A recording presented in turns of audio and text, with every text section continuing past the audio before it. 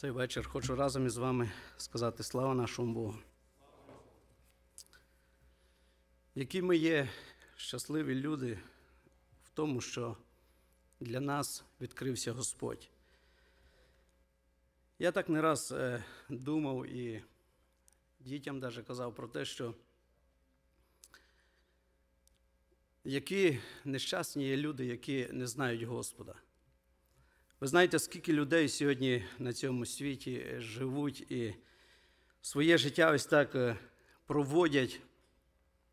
Хтось багато живе, хтось бідно живе. Але ж е, саме основне, якщо людина знає Господа, в її є майбутнє. Якщо людина знає Господа, якщо людина живе з Господом, в її є вічність, вічність з Богом. Тому що є дві вічності, ми читаємо в Слові Божому і знаємо про те, що одна є вічність з Богом, одна є вічність, або ж можна навіть так не назвати то вічністю, а участь з дияволом. Але ж е, ми, як я казав, щасливі люди в тому, що, е, що Господь відкрився для нас. І навіть я не раз так думав, що Господь відкрився для нас у всій його повноті. Ми його не пізнали трошки, ми його не пізнали в якійсь мірі, ми його пізнали у всій повноті. І це Він відкрився для нас, за що слава нашому Господу. І я хотів би сказати, що хтось е, живе, як я на початку казав, хтось е, багато проживає ось так е, в розкоші, можливо, в цьому житті проживає, але ж для тої людини одного разу прийде такий кінець, якщо людина жила без Господа, як як свого часу прийшов кінець для ось того багатого чоловіка, про яку ми читаємо притчу. І хтось бідно проживе на цій землі, але ж якщо не знає також Господа, для нього і тут, так сказати, і тут промучиться, і тут нічого немає, і у майбутньому нічого немає. І вічного життя нормального або ж з Господом немає, тому що тут не хотіли, як в Слові Божому написано, не хотіли мати Бога в розумі.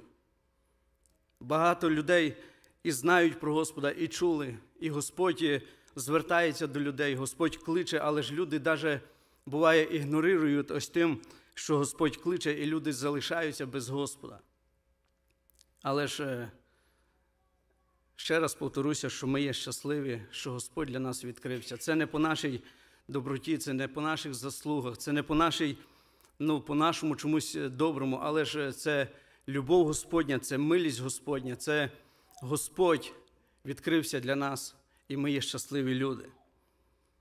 Я прочитаю перед нашою молитвою Слово Боже, яке записано у старому заповіті, це книга суддів, шостий розділ. Недавно нагадувалося це місце для нас в служінні, шостий розділ з 11 вірша. І прийшов ангел Господній і всівся під дубом, що в Офрі, який належить Еві Езрянину Йошаєві. А син його Гедеон молотив пшеницю у виноградному чавилі, щоб заховатися перед медіянітянами.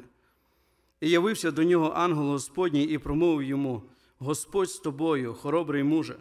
А Гедеон сказав до нього: О пане мій, якщо Господь з нами, то нащо прийшло на нас усе це? І де всі його чуда, про які оповіщали нам наші батьки, говорячи, ось з Єгипту вивів нас Господь. А тепер Господь покинув нас і віддав нас у руку медіяна, і обернувся до нього Господь і сказав: Іди із цією своєю силою, і ти спасеш Ізраїля з медіянської руки. Оце я послав, послав тебе. І відказав йому Гедеон: О Господи мій, чим я спасу Ізраїля? Ось моя тисяча найнужденніша у Манасії, а я наймолодший у домі батька свого. І сказав йому Господь, але я буду з тобою, і ти поб'єш медіянтян як одного чоловіка. А той до нього сказав: Якщо знайшов я милість в очах твоїх, то зроби мені ознаку, що ти говориш зо мною. Не відходь же звідси, аж поки я не прийду до тебе і не принесу дарунка мого, і не покладу перед лицем твоїм. А той відказав: Я буду сидіти аж до Твого повернення. Ось таке Слово Боже, зачитана старий заповіт, знайома історія про такий непростий час, який переживав на той час ізраїльський народ. Сказано в Слові Божому, що тут вище я не зачитував в шостому розділі на початку каже, що Господь придав ізраїльський народ, придав ворогам через те, що вони, я своїми словами кажу, через те, що вони відступили від Господа, стали робити зло, стали робити те, що вони хотіли, не те, що казав закон Божий. І Господь попускає, Господь не раз ми, якщо читаємо взагалі старий заповіт, то іноді навіть ну так роздумуючи, не вкладається до розуму, наскільки був, е, яким словом сказати, впертий ізраїльський народ, коли бачили чуда Господнє, бачили те, як Господь їх вів, бачили те, як Господь давав їм все необхідне, і вони відступали від Його. Хоча й на сьогоднішній день ми можемо бачити подібну картину. Люди, які, яким Господь дає все, забезпечує всім, але ж люди відступають від Бога. І щось подібне ось на той час було з ізраїльським народом. І Бог каже, що віддав в руку ворогів їх на сім років. Зразу ж можна подумати, що на сім років бували випадки, коли в полоні були люди набагато довше, коли попадали в полон і великі роки були довгі роки. Тут сім років, але ж я думаю, що кожен із нас не хотів би навіть ось мати тих декілька років подібного стану, як мали ізраїльтяни. Каже, що вороги їхні приходили, навіть в такому слові сказано, що каже, приходили як сарана, тобто в великій, великій кількості приходили і що забирали, що нищили. І іншими словами можна сказати, що ніби насміхалися, навіть, навіть як і здівалися ось з ізраїльського народу. Те, що, може, не могли забирати, те вони нищили, те вони топтали. І сказано, що ось цей чоловік Гедеон, він сховавшись, він молотив пшеницю в тому місці, де де треба було чавити вино. І Господь являється до нього в такий непростий час. І каже: Господь з тобою, хоробрий муже. І я так розмірковував на ось цими словами, наскільки Гедеон був е, нелукавий чоловік. Він казав те, що він відчував, те, що він просто по-людському переживав, те, що в його було на серці. Він казав, як Господь з нами, як з нами ось стало таке. Каже Господь, Він покинув нас. Як Господь з нами, коли ось таке трапляється, вороги приходять, забирають все. І це він говорив те, що лежало в його на серці. Але ж е, я вірю, що цей чоловік був іскренним чоловіком.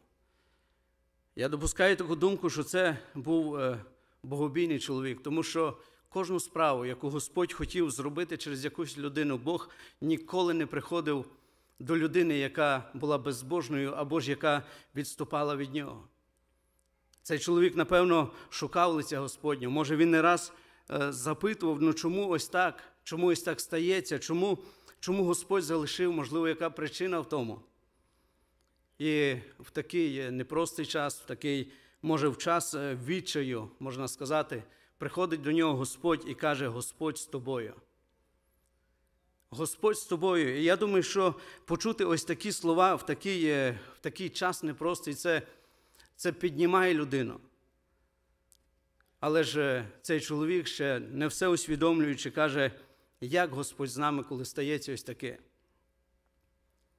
І я хотів би не не говорити про те, як Гедеон перемагав, з якою кількістю, як він йшов, але ж е, хотів би звернути нашу увагу на ось ці слова, які Бог сказав до нього. І повторився, каже: Йди, і ти переможеш. Він каже, як я піду? Я наймолодший, сила в мене невелика. Немає людей в нас багато, але ж каже Бог, каже, я піду з тобою. І це нам каже про те, що коли здається для людини все, прийшов кінець, але ж Бог каже, що ще, ще каже, не кінець, каже, іди, і ти маєш перемогти. ти маєш перемогти. Тоді, коли для Гедеона здавалося, що вже все, але ж в Божих очах було не все. Бог сказав, що каже, я з тобою. Ви знаєте, скільки раз, можливо, приходять е, подібні ситуації в наше життя, в життя людське, коли, здавалось би, на тому кінець приходить е, тяжкий ось такий час, приходить е, відчай для людей, можливо, якась проблема, хвороба чи ще щось. Але ж е, Бог каже, що Він тоді із нами. Брати і сестри, і ось цими словами я хотів би сьогодні підбодрити кожного із нас, що Господь є із нами. Слава, слава для нашого Господа. Господь є із нами. Свого часу читаємо старий заповіт, знову хотів би нагадати один випадок з Ільєю, який трапився. Ілля, коли ховався, Ілля розумів, що чекає його. Він чисто по-людськи розумів, хто його переслідує. Цар його переслідував. Він знав, що може закінчитися, як його життя, чи чим може ось це все закінчитись. І каже до Господа, каже, пророків твоїх повбивали, я, каже, лишився сам, візьми мою душу. І це Ілля говорив те, що він переживав. Ми, можливо, може, думаємо, що Ілля злякався, але ж поставимо себе кожен на таке місце. За Іллею не гонився якийсь е, посторонній чоловік. За Іллю, Іллю переслідували цар і цариця, переслідували вищі люди того часу. Ілля розумів, чим має ось те все, чим може ось це все кінчитись, і він каже, що пророків твоїх повбивали, залишився, каже, я сам. Але Бог каже, Ілля, я каже, залишив сім тисяч тих, які каже, не схилили колін, каже, перед Ваалом. І там Бог, ми пригадуємо ту історію, каже, що йди, ти маєш помазати того на царя, того на пророка. Тобто Бог сказав, що це, це не кінець. Ілля, ти думаєш, що це кінець, але ж в Бога це не кінець. Господь не залишив Іллю, Господь був з ним. І тому, брати і сестри, Господь не залишить нас, якщо ми не залишимо Господа. Якщо ми в якихось, можливо, в трудних в наших життєвих таких обставинах, якщо ми, може, думаємо, що Господь нас залишив, то перевіряємо себе, чи ми його не залишили. Якщо ми його не лишали, якщо ми остаємося вірними для нього, Господь є із нами, брати і сестри.